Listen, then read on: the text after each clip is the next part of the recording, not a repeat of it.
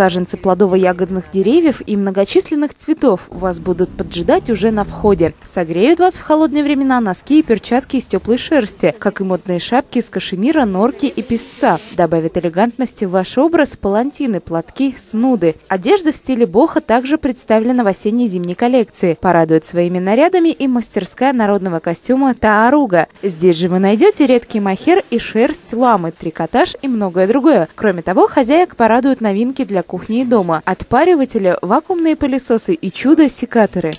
Это универсальный секатор, который может э, без особых усилий за счет механизмов перерезать веточки диаметром до 2,5 сантиметров. Мужчин ожидают туристические ножи и товары для охоты и рыбалки, а женщин – ювелирная бижутерия, серебряные украшения, изделия из натуральных камней, ручные работы и натуральные шубы из мутона и норки. Действуют скидки. Поможет не замерзнуть и сохранить здоровье специальное термобелье, трикотаж из бамбука и белье на тибетских травах. Нет времени на санаторий, вам поможет переносной физкабинет. Аппарат ультразвука, токи Бернара и электрофорез. Теперь все эти процедуры можно проводить дома. Ну и, конечно же, на ярмарке вы найдете большое количество различных сладостей и деликатесов.